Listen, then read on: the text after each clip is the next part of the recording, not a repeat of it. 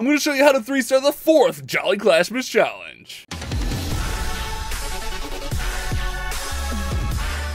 This challenge is set up for a Queen Charger Warden Walk with some lightning spells to zap out some important defenses. And also be noted, there is a hole on this base we could take advantage of, but in my plan, we're not going to do that. So this is what we're going to do, guys. We're going to go and we're going to drop in our Earthquake right here, and then we're going to drop in all six of the Lightnings to take out all four of those scatters. Easy. Nice.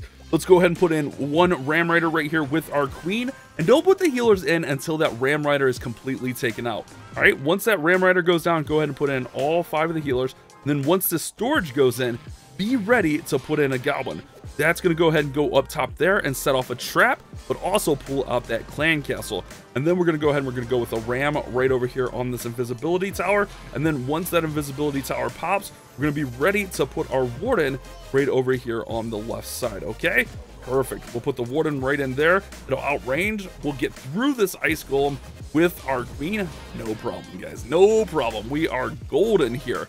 All right, perfect. We're letting everything just work through here. We'll get through the invisibility tower. We'll get through all of these defenses in this section.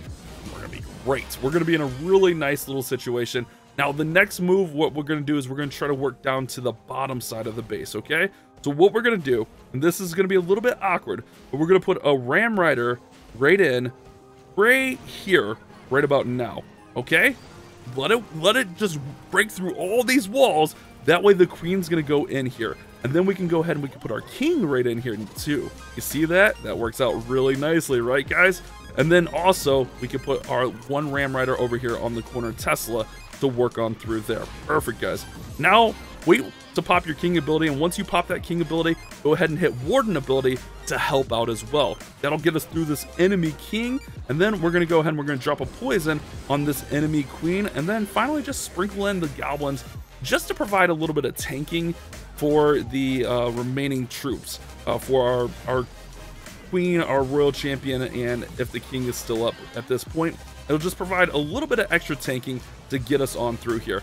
We'll get our queen working right on through here. We'll get through this enemy royal champion, and we should get this get this challenge down.